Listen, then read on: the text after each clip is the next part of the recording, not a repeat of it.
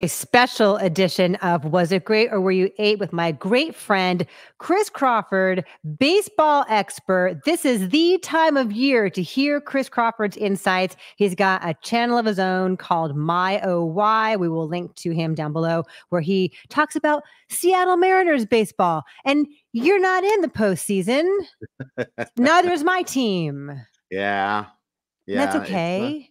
It's, okay. It makes you appreciate when you do make it, of course my team's only made it once in the past 23 years and your team seems to like they just have like a pre-written thing that like you advance to this series um sometimes they don't go that far christy but uh they do get to at least get to play the Dodgers had an epic collapse, but that's a whole other conversation for a whole other time. Sure. Um, you had this great idea that you wanted to talk about a movie that means a lot to you from your childhood, and this seems like sort of the exact wheelhouse of things that we like to do here from time to time in the "Was It Great or Were You Eight series. You picked The Sandlot from 1993. Yes. Why did you pick this movie? Well, first of all, what's it about?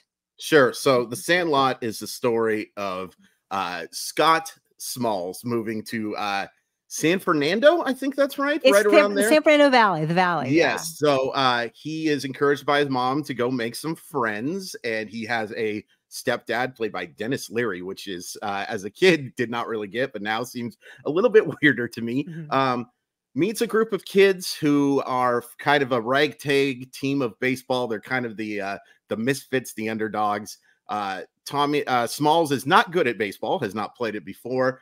They include him in the gang, and a whole bunch of wild, wacky adventures take place uh, over the summer of. Uh, I don't remember what year they said it. Maybe they don't actually say they what do. year it is. Christine. Oh, it's oh, very oh, specific. It's 1962. Okay.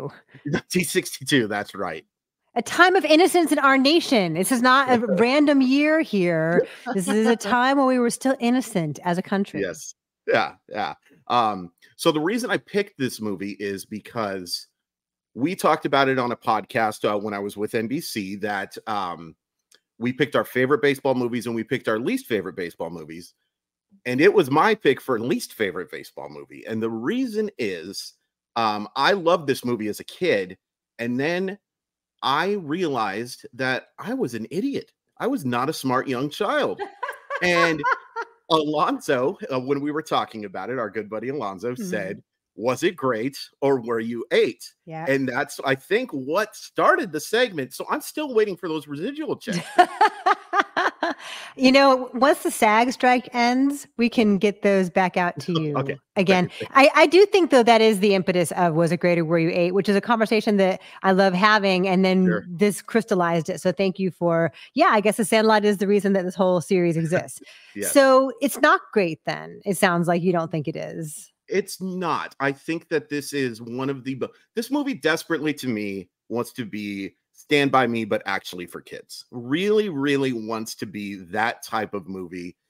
And it relies entirely on nostalgia and it is so derivative of so many better movies, in my humble estimation. Now, mm-hmm. there are certainly things that I enjoy about the movie. I actually think Denis Leary's performance is one of the best parts of the movie. I think his uh, actually a pretty believable stepdad that's trying to make that effort to work with the kid, but cannot quite find that common ground with him but a lot of the performances, and I know they're child actors, are not so great in this movie. And mm.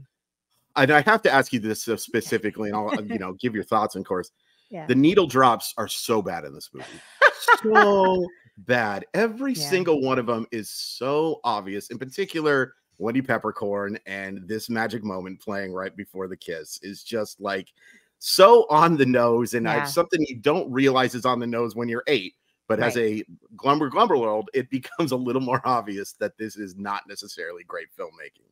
Yeah, no, this is bargain basement stand by me for sure. uh, yeah, I'm realizing watching this movie today that I have never seen it. I thought I wow. had, and looking back, it came out in April of '93. I was a senior in college, getting okay. ready to graduate. I was 20 years old, and like I devoured film then, but at this point in my life, I would not have sought out the Sandlot. Like sure. at this point in my life, I was going by myself to whatever was playing at the art house in the middle of the day. So sure. um, I did not see it. And watching it now, like from the very beginning, I was so uncomfortable. It's so cringe inducing because it's like a it's like one of those Family Guy parodies of like the summer that changed everything. Like the Yes. the narration, the writer and co-director and narrator David Mickey Evans hold your hand through everything and like has zero faith and again as you say is for really little kids but explains everything like that's the summer that I moved with my mom and stepdad to the San Fernando Valley and didn't know anyone.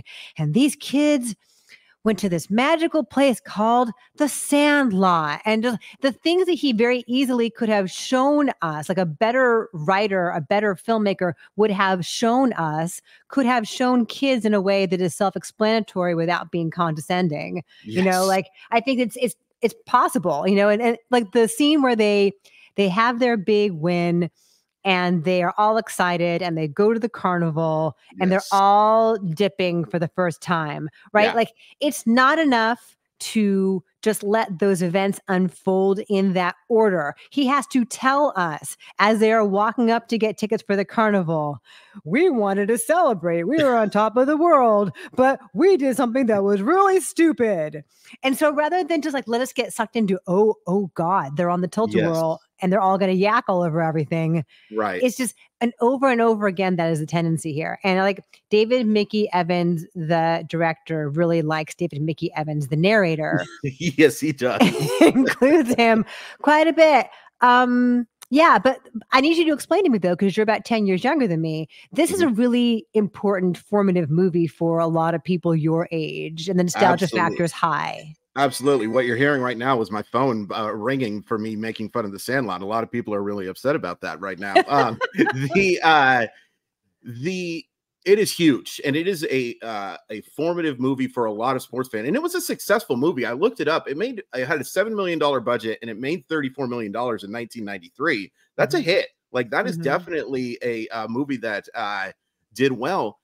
I think people just watched it at the exact right time in their formative years as, especially for me like as a 40 year old you know that has so many friends who uh became such big sports fans that was kind of their introduction into like sports movies and sports baseball and it was something that we really hadn't seen because most baseball movies were formed made for adults absolutely you couldn't watch major league when we were little we couldn't watch Bull bad news bears bad news bears all of those types of Right. movies this Mhm. was uh, like literally like handpicked for us to watch and i think that's why so many people love it and i've talked to many people who have watched it afterwards and realized um maybe that wasn't so great oh it's bad yeah but will they acknowledge it? Like, I, I Yeah. totally appreciate your candor in acknowledging it. Like, yeah I don't know that everyone could do that because they want to cling so fiercely to Oh. these things that they treasure from their youth, right? a billion percent and i Mm-hmm. think you made a great point too with like the hand holding the thing that i immediately thought of was the erector set scene which is actually kind of a cre- clever little thing when they're looking to go get the baseball and stuff he can't help but to just like talk you through that this whole thing was being set up and they thought this was going to be it you can't just watch the movie and uh, figure out what you're going to do and by the way it is worth pointing out this guy was the guy who wrote Radio Flyer, which is one of the most. If I don't know if you remember the movie Radio Flyer, Christy, don't. it is one of the most bizarre movies about these kids who are having these fantasies while they're getting abused, and it is unbelievable that this movie was made in '92. Uh, Mr. Ebert was not happy about it. He gave a very scathing review. I do remember that. But this guy also made movies like Beethoven's Third, Beethoven's Fourth, National Lampoon's Barely Legal, and Ace Oh. Ventura Jr. Pet Detective. I think Ace Ventura Jr. You gotta Yes, specify. the- yeah, Ace Ventura Jr. I'm I very much apologize for that. Um, that is um that gives you kind of an eye. And look, that's a little bit of an ad hominem argument. You know, people make good movies, people make bad movies, but I think it gives you kind of an idea of the quality that certain people are mm-hmm. capable of doing. And the, the the performances aren't great. Like No. the pacing isn't great. The and again, what do you what did you think of the the needle drops? I mean, they're just songs that we hear a lot in movies that take place in this era. Yeah. You know, green onions and tequila. you know it's just it's just the very obvious choices as far as like the Oh. music supervision goes but again you know it was 30 years ago sure. and i i do wonder whether a lot of filmmakers now are more astute about trying to find more varied examples of songs that would have played, you know, or were evocative of that era or whatever. Yeah. You know, Yeah, we can't sure. we can't hear "Give Me Shelter" over and over and over again. You know, yeah, yeah. Uh, I always forget the name of the uh, the song that plays at the beginning of every Vietnam movie. Uh, "Fortunate Son," like that. That one is uh, the Yeah. played out quite a bit, and then you know, like uh, the "America the Beautiful" that's playing during the fireworks scene, and over and over again. Also, this movie's pretty sexist, Christy. Like, oh my it- it's a god. pretty darn sexist movie, even for, and I'm not excusing sexism at any time, but even for 1993, this is a pretty darn sexist movie. The thing that happens with Marley Shelton wouldn't happen in a movie today. Oh gosh, no. The idea that like he tricks her, he pretends to drown Yes. to to try to kiss her, and then yes, she kicks him out, but then she waves to him all the time, and then ends up marrying him and having nine kids and staying in this shitty town and yes. open and running a store. Like that's horrible. That's not a good message for girls. And that end narration, by the way, is just awful. Like it, it's just like it, it- they they think they're being clever, giving all these guys the Animal House treatment of what happened to them and stuff like that. Yeah, Um. How how about the James Earl Jones uh, little side piece? What did you think of that? That's the only good part of this whole movie. I like I would so, like a whole movie about James Earl Jones. Which like, clearly they're playing off of Field of Dreams there, right? Yes, How many years earlier did Field of Dreams come out? Like five, something like that. I think 88 for Field of Dreams. Yeah. They're so lucky that James Earl Jones said yes to this movie. He has no reason to, right? So are, are we to assume that he was like a Negro Leagues player and he knew Babe Ruth? Yes, yeah, and uh, unfortunately was blinded in an incident that Yeah. takes place, and uh, that's uh, and they they can't even really um that movie can't even like uh break that part down. It has to be some sort. They can't even talk about like the segregation thing. They they completely side piece that, which would have been Yeah. an interesting thing to hear about how he was just as good as any of them, but didn't get a chance chance to play against them because of the lack of segregation that was happening. That could have been an interesting thing to talk about as well. But instead, you have to show five minutes of kids throwing up on a tilt a whirl and probably cut your runtime down. And that's that scene, by the way. Just just show what happens after. Just show you could show like some stuff on their shirt that said that they threw up. You don't have to have that whole dang thing take place. I actually think they didn't go big enough on it. I don't usually like gross out humor. Nice. I usually I don't Nice. like like totally gratuitous like poop jokes and Sure. whatever. But Sure. if you're gonna do it, go big. The way they did it looks Yeah. so chintzy. They just like Yeah. threw some like wet dog food on the ground or something. Fair, Chili. fair. So should we give numbers? Do I get to give a number on the Breakfast Um, podcast? Do we do numbers on was it great or were you wait? I think we just try to decide at the end was it great or Oh, were you wait? We I, vote. I will just say I was eight. I was definitely eight. I wasn't actually eight, but if, for all intents and purposes, I was very much an eight-year-old for this. metaphorically. Yeah. You were eight. Yeah, I agree. This was not a good movie. And I'm so pleased to hear you say this because I was so afraid that I was going to come on here and like dump all over your favorite baseball movie from childhood, the one that made you like the baseball expert that you are today. So I'm pleased to see that you had, you have evolved in your taste. Thank you.